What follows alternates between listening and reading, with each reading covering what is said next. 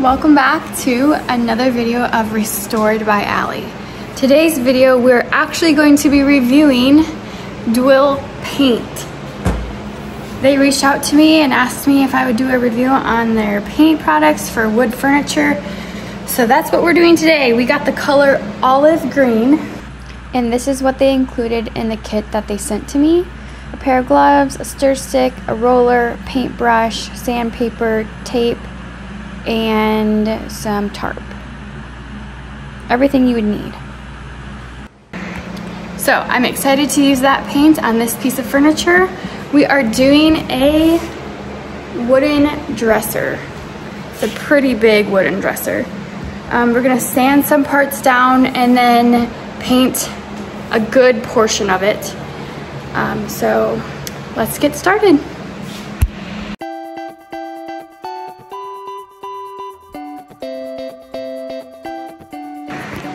Okay, so we just got done cleaning it and now I'm gonna wait for it to dry completely before we're gonna sand the top and these top three drawers and the rest will be scuff sanded so that we can paint the rest of it. And this top has a few divots and everything in it and it looks like they have a little bit of repairs that were done in the past. So this might be painted depending on how bad it looks after it's sanded. I'm gonna remove all of the hardware off of this dresser and I'm gonna replace it with new hardware at the end of this video. You'll see me using leather and these kind of like gold knobs on the top. Trust me, it's gonna look good. So I started sanding the top of this piece with an 80 grit sandpaper and it was getting through everything just fine, but then the repairs that I mentioned earlier in the video that the previous owners did to the top of it just was not going to look good just sanded down, so I ended up having to paint the top anyways.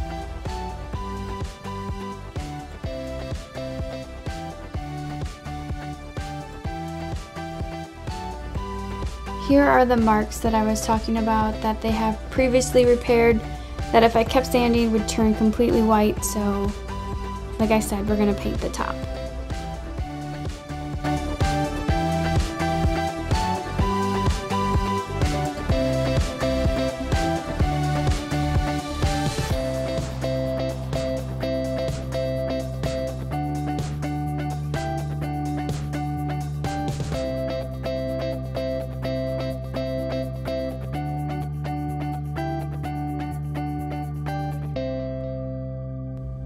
And now I'm just scuff sanding the drawers and the base.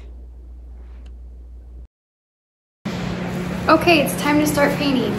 I am actually going to show you guys a trick that I think is useful, but um, I don't buy paint trays. I think it's a waste of money and not needed. I just use like a lid from a tub.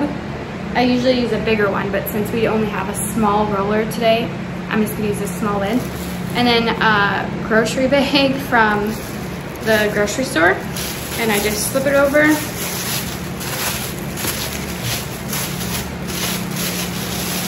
Tuck it in. And then I will pour my paint just right on top of that. Actually don't do it on this side with the black and the red. Do it on this side where it's nothing on there because the ink will come off the bag So I'll just pour the paint on here and roll it. And then when I'm done, just take this off and throw it away. Easy. Now I'm gonna put the first layer of the Dwil paint.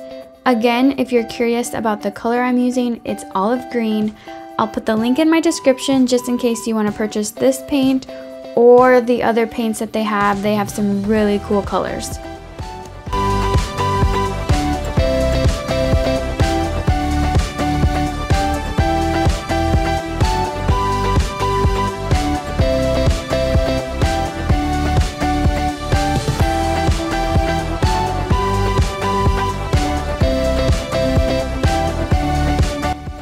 it's time to put the first layer of paint on the drawers. I noticed that when I put the paint on, it seems like a different color than what I thought it was going to be, but once it dries, it's like the beautiful olive green that I expected.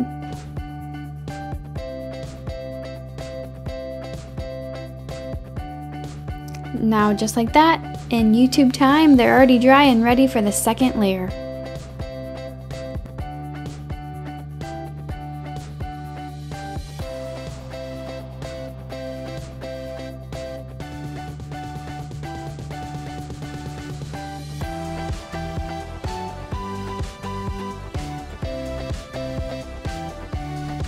Next, I'm going to stain the top three drawers, let them dry, and then add a top coat.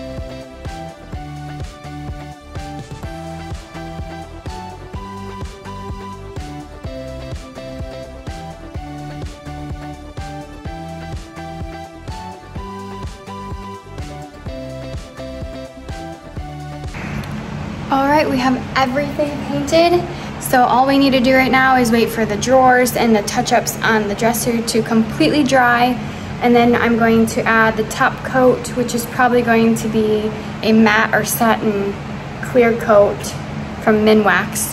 And then after that, we get to add the hardware, which is gonna be these leather handles.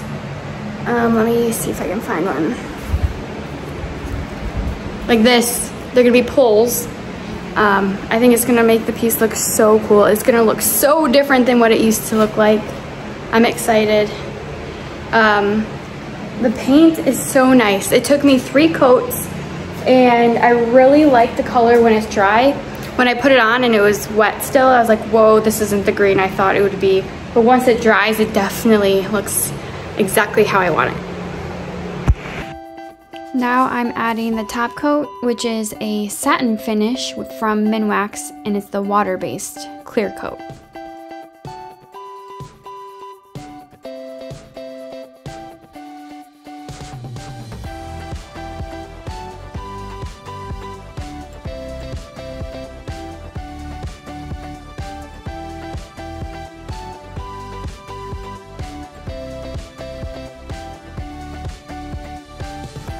I saw this little scary looking spider on the piece and so I thought I'd film it and show you guys for no reason.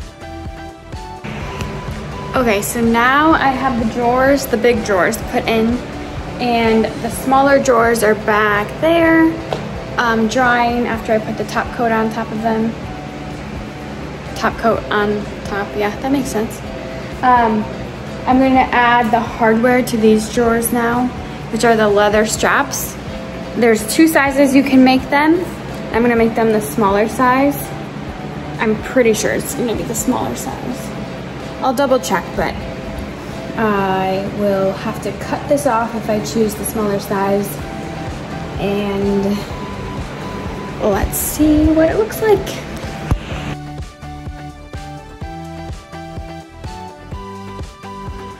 Okay, so here are the hardware for the bigger drawers. This is how it turned out. I think it looks really good. I really like the contrast of colors.